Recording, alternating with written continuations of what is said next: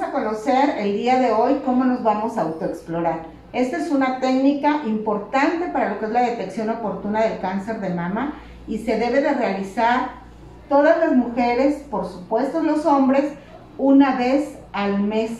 Las mujeres que arreglan o que todavía menstruan deberán elegir entre el séptimo y el décimo día después del periodo de la regla, porque es el momento donde nuestras hormonas están bien tranquilitas y vamos a poder tocar y palpar muy bien nuestras mamas. Las mujeres que son menopáusicas o que tienen o que ya no tienen matriz deberán elegir un día al mes para realizarla. ¿Cuándo podemos hacerla?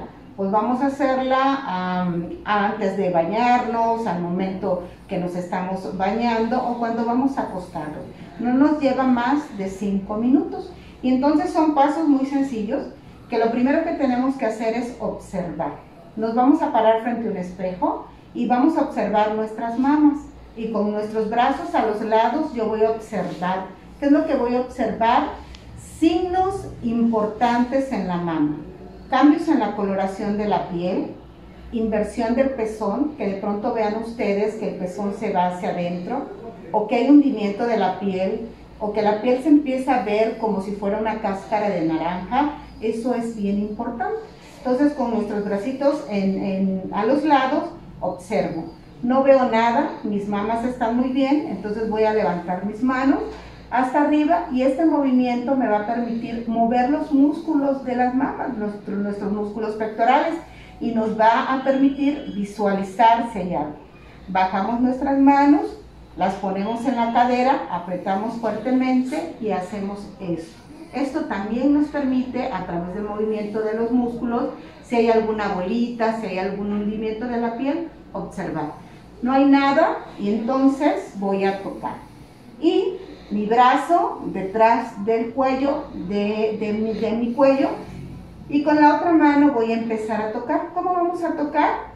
De forma digital, así les decimos nosotros, de forma suave, iniciando desde lo que es el pezón, conforme a las manecillas del reloj, y procurando ser suave pero profundo. Recuerden que lo que estamos buscando es una bolita que no duele, que no se mueve, irregular y vamos a tocar todo lo que es la mama, toda, toda la mama, buscando, buscando, no tengo nada, ¿verdad? Hasta lo que es la parte de la axila. No encontré nada, entonces voy a hacer con mi otra mano el mismo procedimiento, ¿verdad?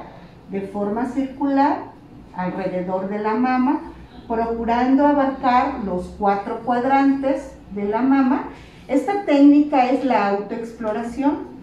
Nos va a permitir observar y conocer, ¿verdad? ¿Qué es o cómo están mis mamas? ¿Por qué? Para que si yo llegara a observar o a tocar algo importante, acudir inmediatamente a lo que es mi unidad de salud. Por supuesto, el personal de enfermería o el personal médico harán lo que es la exploración clínica de la mano. Terminé de, tocar mis mamas y entonces me voy a acostar. Una vez acostaditas, nuevamente voy a empezar a tocar mi mama, ¿verdad? Para que el estar acostada me permita una mayor exposición de la mama y pueda tocar a profundidad. No toqué nada, qué bueno, para el siguiente mes voy a hacer la misma técnica, me voy a autoexplorar, ¿verdad? Y así cada mes, cada mes.